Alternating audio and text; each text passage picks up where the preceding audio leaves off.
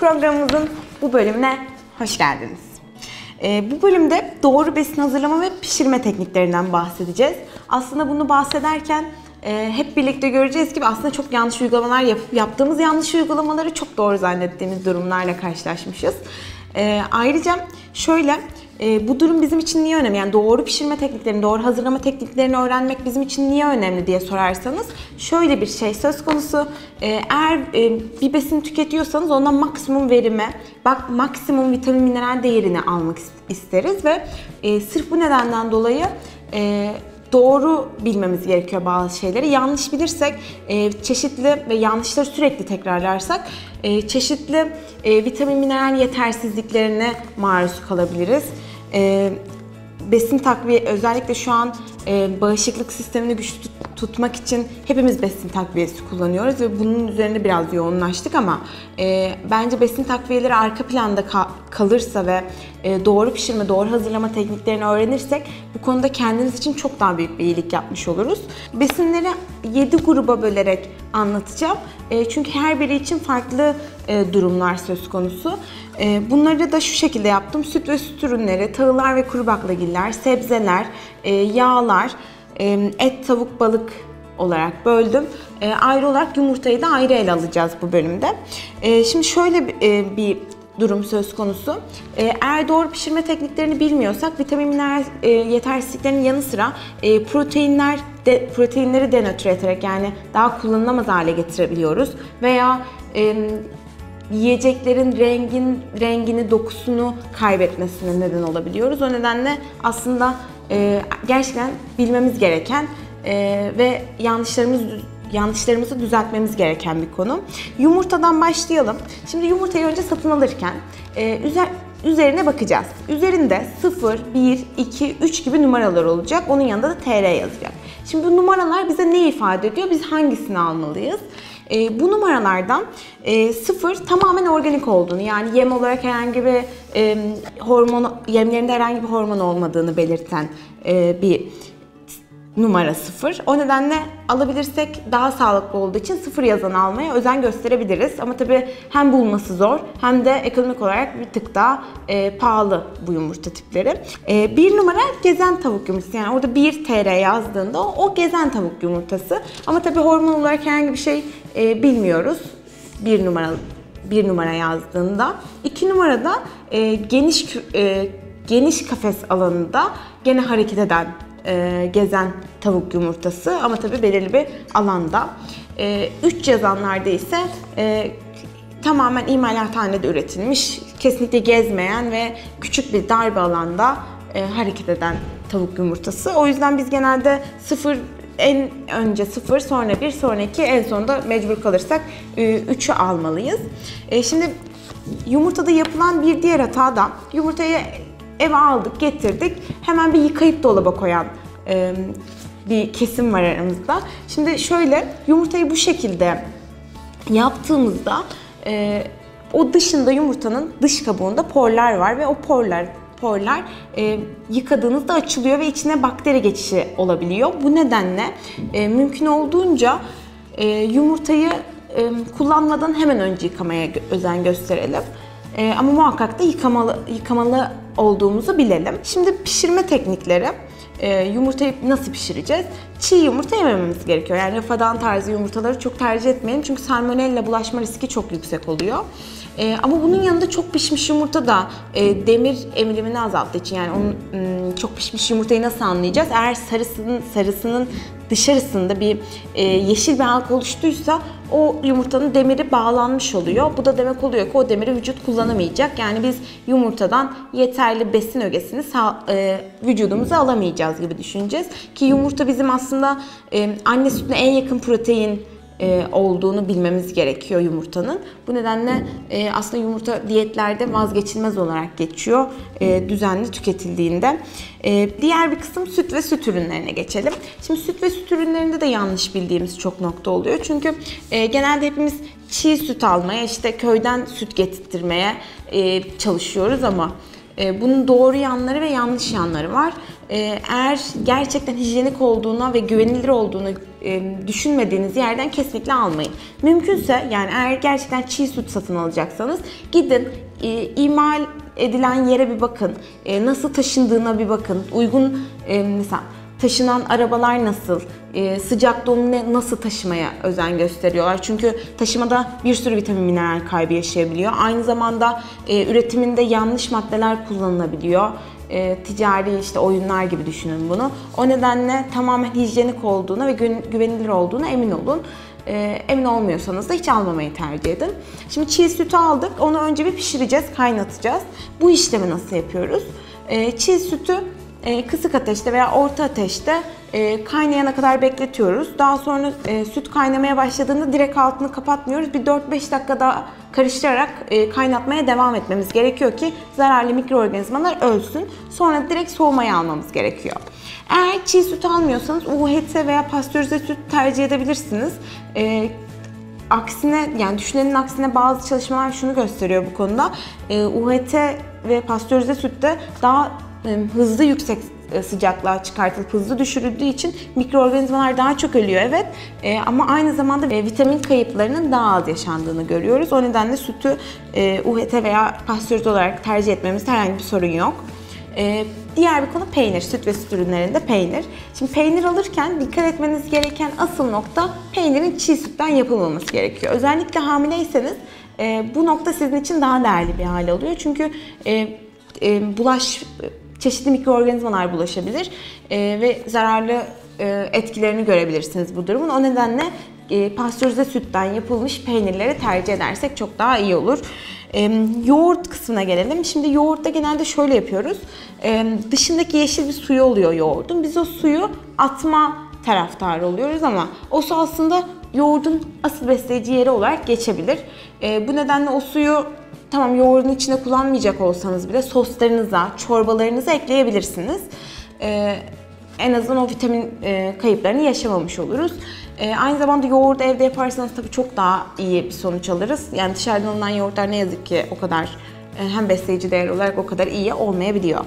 E, sütlü tatlı yaparken Şimdi genelde yanlış bilinen bir e, konu sütü tat, tatlı yaparken hemen şekeri atmamamız gerekiyor. Attığımızda yani şekeri ilk başta attığımızda e, süt proteinlerinde bir tık denatür oluyor. Yani süt proteinleri bir tık bozuluyor ve vücutta kullanılamaz hale geliyor. Onun yerine şekere pişmeye yakın zamanda atarsak çok daha e, hem vitamin mineral açısından çok daha dolu bir tatlı yemiş oluyoruz hem de e, protein açısından daha e, bize iyi gelen bir tatlı yemiş oluyoruz diyelim.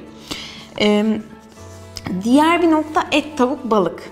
Hmm, şimdi et, tavuk, balık derken e, şunu söylemek istiyorum. Et, tavuk, balığın aslında çok yanlış yaptığımız nokta oluyor. O yüzden çok daha dikkat etmemiz gerekiyor. Çünkü et, et tavuk balıkta çok daha fazla mikroorganizma üreyebiliyor ve bunlar vücudumuza zararlı olabiliyor.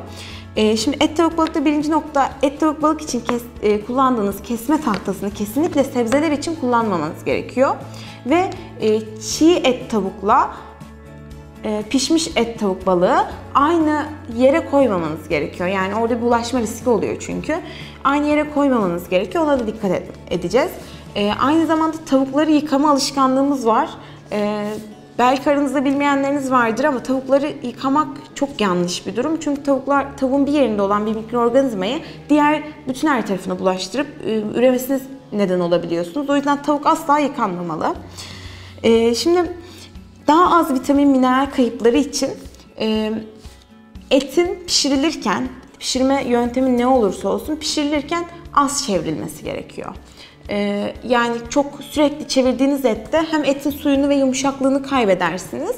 Ee, et daha böyle e, çiğnenemeyecek bir et olur. Hem de e, ette bir B12 gibi vitamin kayıplarına neden olabilirsiniz. Bu, ne, bu nedenle eti çok çevirmemeye dikkat edelim.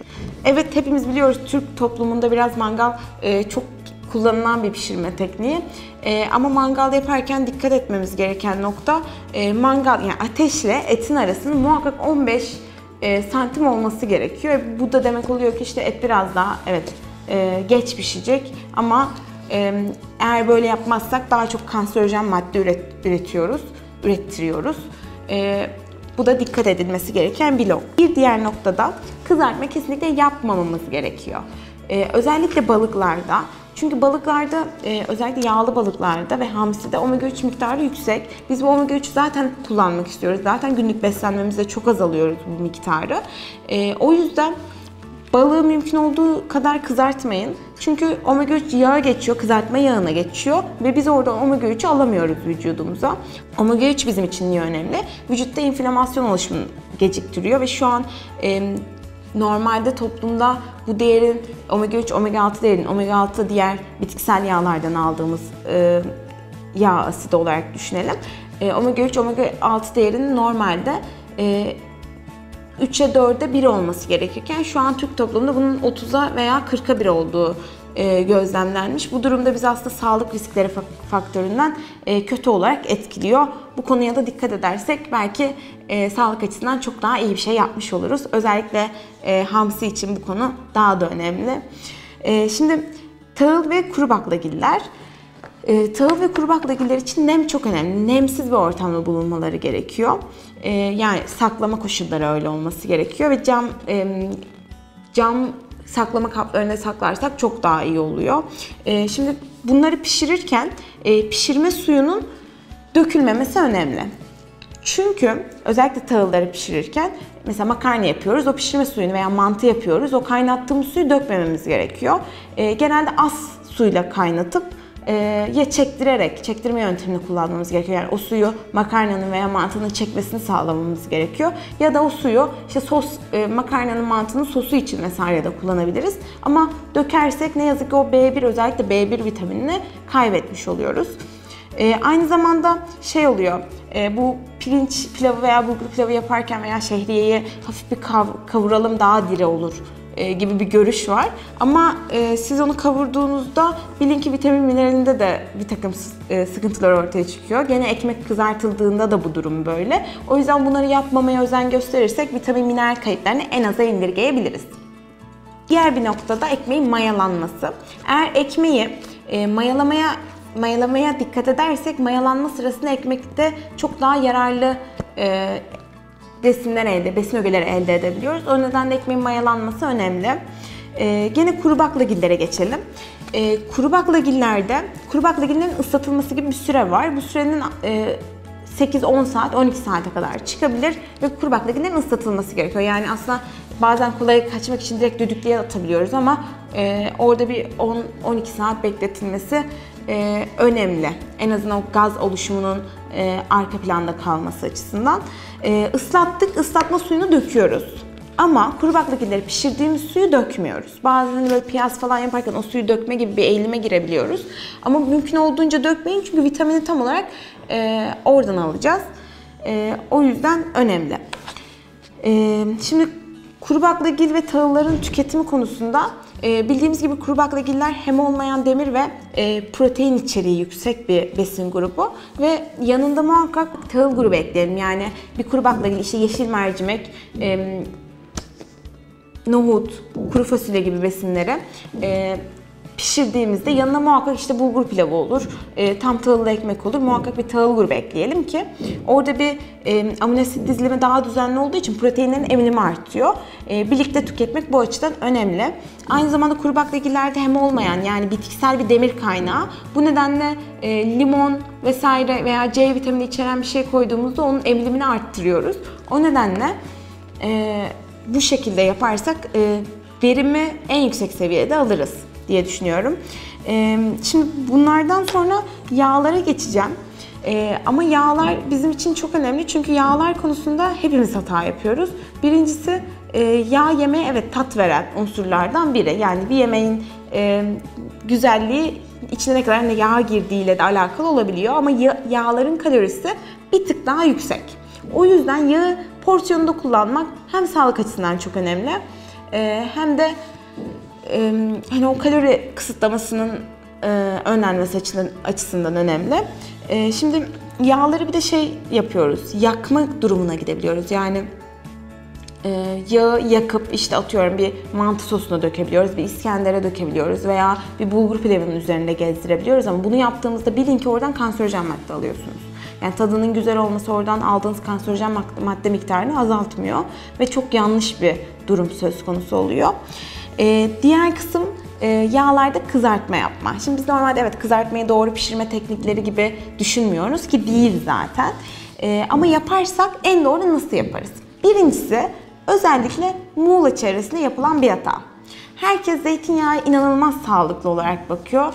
Ee, ve kızartma yaparken kızartmayı bile zeytinyağıyla kızartıyoruz. Ee, ama e, bilelim ki zeytinyağın yağının e, dumanlanma noktası daha düşük diğer yağlara göre ve eğer böyle kullanırsanız e, kanserojen madde üretiyor ve yararlı sandığımız besin zararlı hale dönüşüyor. O yüzden kızartmayı ya mısır yağı ya ayçiçek yağı ile yapabilirsiniz ama zeytinyağıyla kesinlikle yapmıyoruz.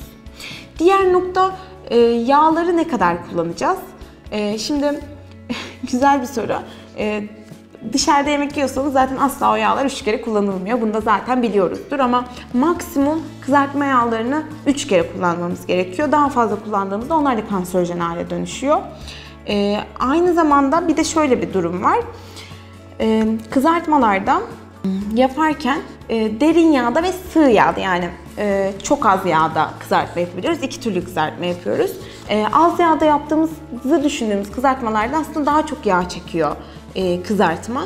E, yani derin yağda yaptığımız e, kızartmalar aslında daha az yağ çektiği için daha az kaloriye sahip. O nedenle eğer kızartma yapacaksanız ve e, hani küçük bir porsiyon varsa belki göz ardı edilebilir ama büyük bir porsiyon kızartma yapacaksanız 3-4 kişiyseniz ailede veya 2 kişiyseniz e, derin yağ tercih ederseniz daha sağlıklı olmuş oluyor. E, şimdi yağların bir de saklanma noktası çok önemli. Çünkü eğer yağ tüketiyorsak e, yağların özellikle kapalı, ışıksız bir ortamda mümkünse renkli e, yağ şişelerine saklanması gerekiyor. Çünkü e, yağ ışık aldığında oksit oluyor. Yani onun E vitamini gidiyor ve acılaşıyor yağ. Bu nedenle saklama noktası e, yağlar için önemli. Gene nemsiz bir ortam tercih edilirse çok daha iyi oluyor. Şimdi yağları anlatırken şunu da söylemek istiyorum.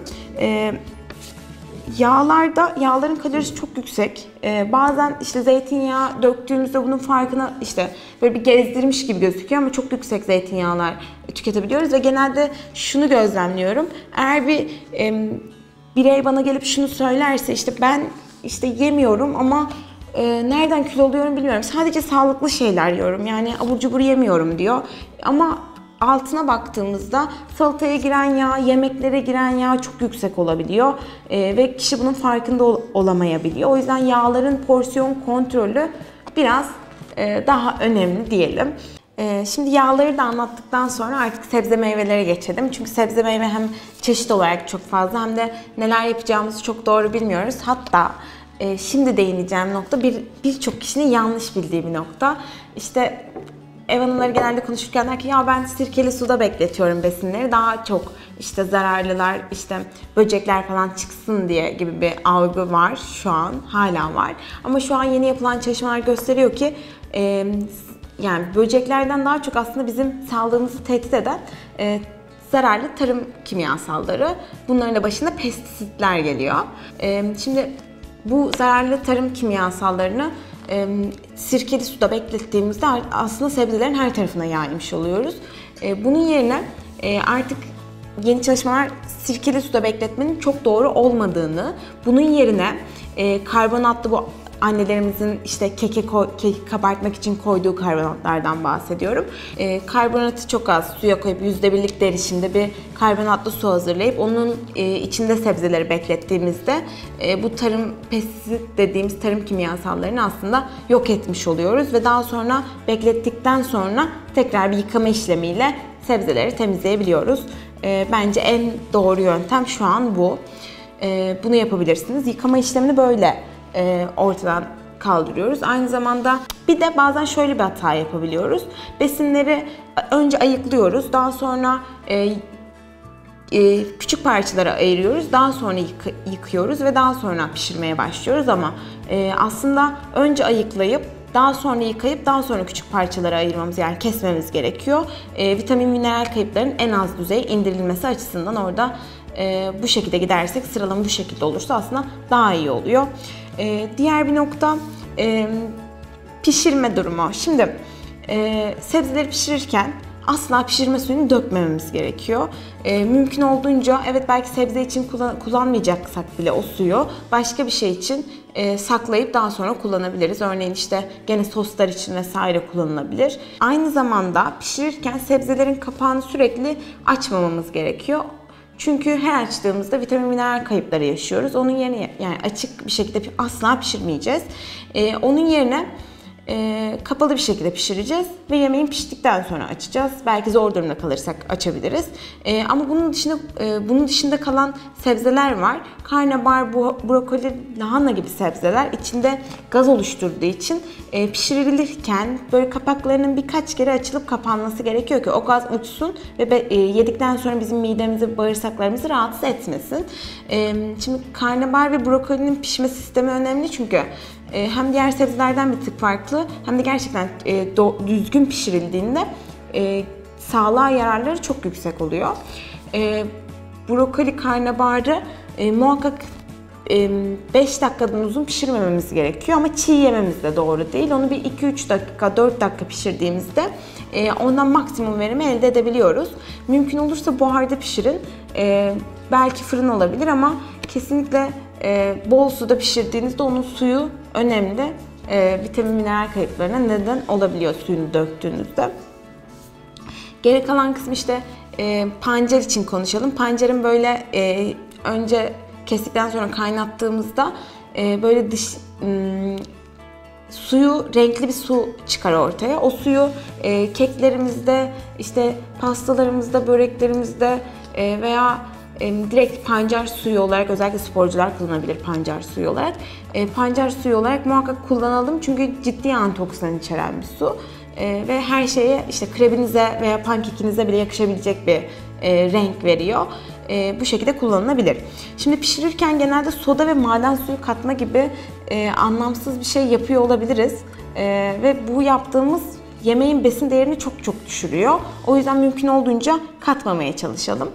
E, eğer salata yapıyorsak e, mümkünse salatayı yenmeden hemen önce soslayın. Yani limon ve sirkeyi yemeden hemen önce dökmeniz önemli. Çünkü salatayı öldürüp o besin değerini özellikle A ve C vitamini değerini düşürebiliyor.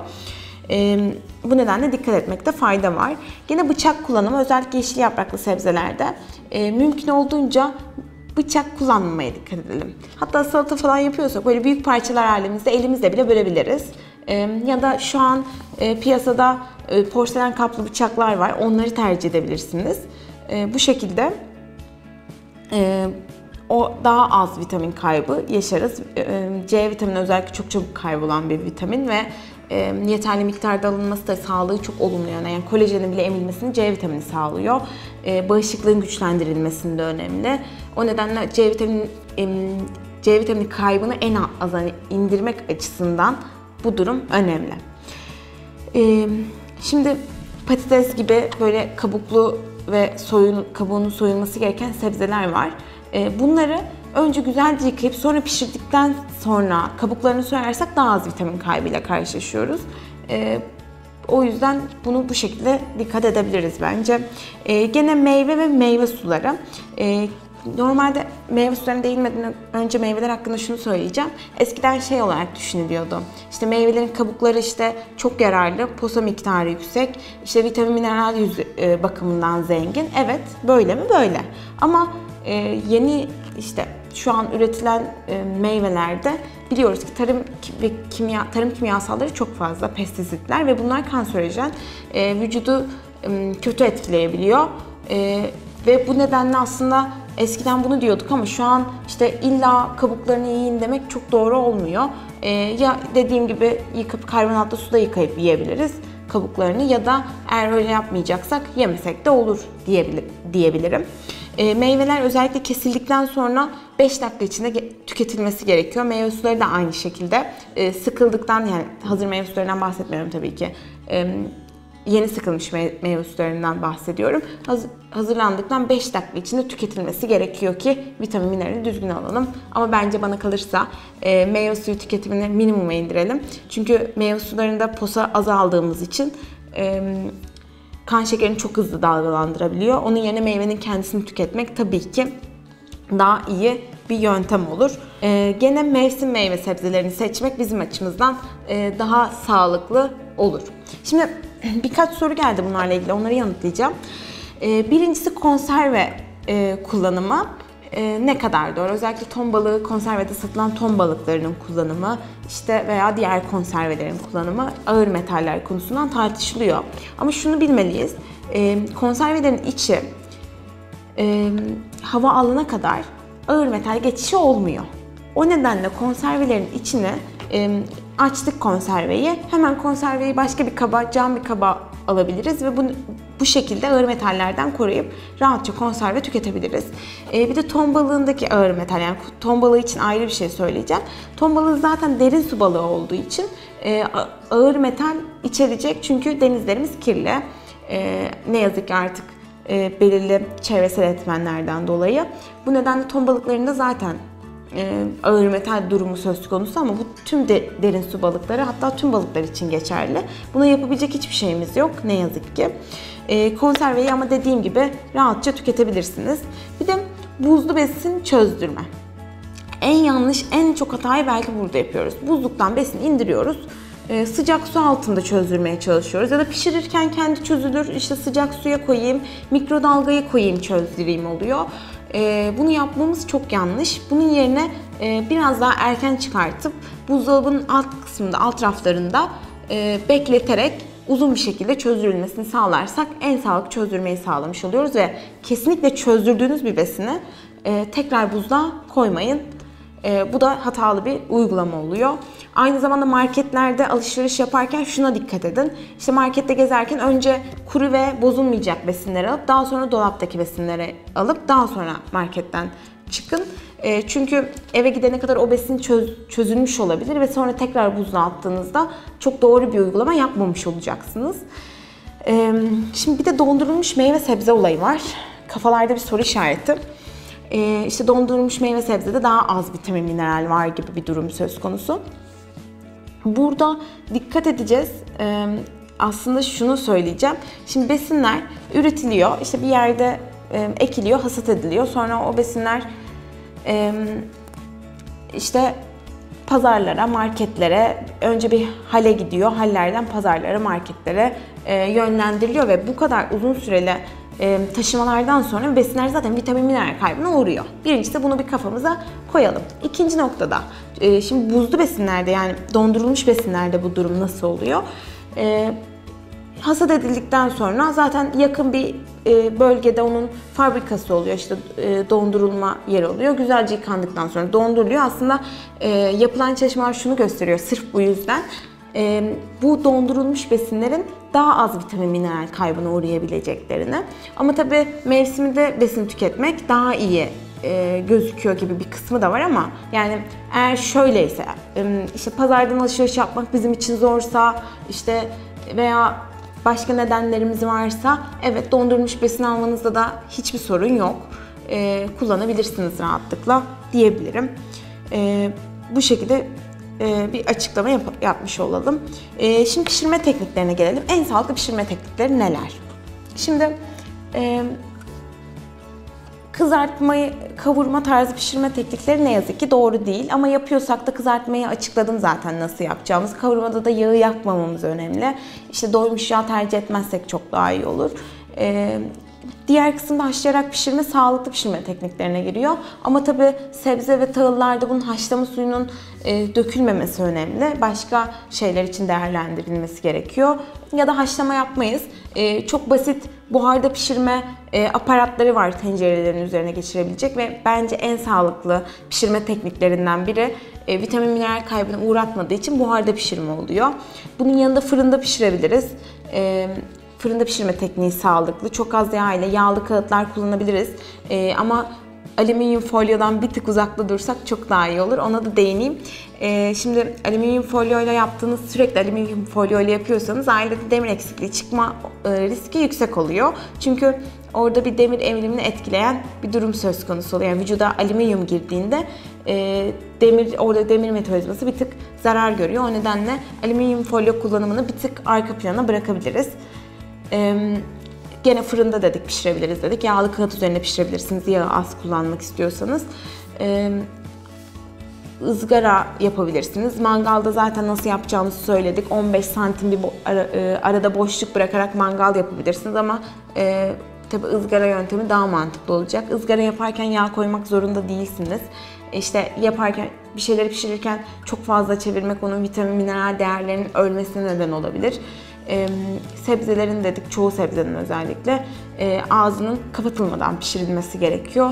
E, tencere yemekleri de sağlıklı bu açıdan yağ az konulduğunda diye söyleyebiliriz. Şimdi bunlardan sonra birkaç bir şeye e, değineceğim. E, evet bu- doğru pişirme tekniklerini uyguladık ama yemeklerden veya aldığımız vitaminlerden maksimum verim elde etmek veya e, adına neler yapmalıyız? Günlük beslenmemizde bunu nasıl sağlamalıyız? E, şimdi Demir eksikliği özellikle çok görülen bir bes, e, beslenme yetersizliği olarak geçiyor. E, o yüzden e, demirin emiliminin arttırılması bu yönden önemli. Bunun için de e, muhakkak demir içeren, yumurta da demir içerir, işte kuru baklagillerde demir içeriği yüksek, bazı sebzelerin demir içeriği yüksek ve e, et, tavuk, balık grubunun demir içeriği yüksek. E, bu gruba yerken muhakkak yanında bir C vitamini içermesi gerekiyor. Ha bunu mandalina portakalla sağlayabilirsiniz, limonla sağlayabilirsiniz veya e, bunu böyle yapmayız. İşte yanına e, biber yeriz. Biberi çok küçük doğramadan tabii ki oradaki C vitamini kay- kaybını önleyerek. İşte yanına biber, biber de koyabiliriz. Bu şekilde e, demirin emilim miktarını arttırabiliriz. E, gene emilimi etkileyen bazı şeyler olabiliyor. Mesela kahvaltıda işte çay içiyoruz ve aldığımız yumurtadan aldığımız demir e, orada biraz daha az emiliyor çay kahve içtiğimizde. O yüzden muhakkak e, yani çay içiyorsak bile bir limonlu bir çay içebiliriz. Açık bir çay tercih edebiliriz. Veya akşam yemeğinden kalkıp direkt bir kahve içelim oluyorsa belki hatayı orada yapıyoruzdur. E, kahve ve çay tüketimi yemeklerden bir saat önce ve bir saat sonra şeklinde olacak şekilde ayarlanmalı. Ee, sonra D vitamini eksikliği çok görülüyor toplumumuzda. Ee, çoğumuz da takviyeye yönleniyoruz ama takviyeyi aldık, bıraktık sonra tekrar bir ay sonra tekrar bir D vitamini eksikliği görüyoruz. Oysa hata fark, D vitamini eksikliğinde hatalar farklı yerlerde olabilir. Birincisi D vitamini emilimini kalsiyum sağlıyor. Eğer kalsiyum düzgün almıyorsanız D vitamininin emilimi çok düşük. Zaten e, zar zor güneşe çıkıyoruz ve kalsiyumu da düzgün alırsak e, en azından bazı hastalıklar konusunda kendimizi risk faktörü içine sokmamış oluruz. E, bu nedenle süt ve süt ürünleri tüketimini arttırabiliriz. E, ama tabii ki süt ve süt ürünleri kalsiyum da demirin emilimini azaltıyor. O yüzden demir içeren yiyeceklerin yanında çok kalsiyum e, içeren yiyecekler koymayalım. Bunu ne sebze yemeğin yanına yoğurt koyabiliriz. Ee, ama et yemeğin yanına yoğurt koymayalım. Yoğurt, süt grubunu daha çok ara öğünlerde tercih edebiliriz. Ee, demirin de emiliminin, e, demirin de emiliminin etkilenmemesi açısından e, güzel bir yöntem olur. Hem de yeterli miktarda alarak D vitaminin emilimini de arttırabiliriz. Hmm, bu şekilde bir yol izleyebiliriz. Bu şekilde benim değinmek istediğim noktalar e, bitti. Gene bu konu hakkında da e, herhangi bir sorunuz olursa e, muhakkak bekliyorum sorularınızı. Muğla TV'nin veya benim Instagram hesabıma mesaj olarak e, yanıtlayabilirsiniz. Bir sonraki programda görüşmek üzere.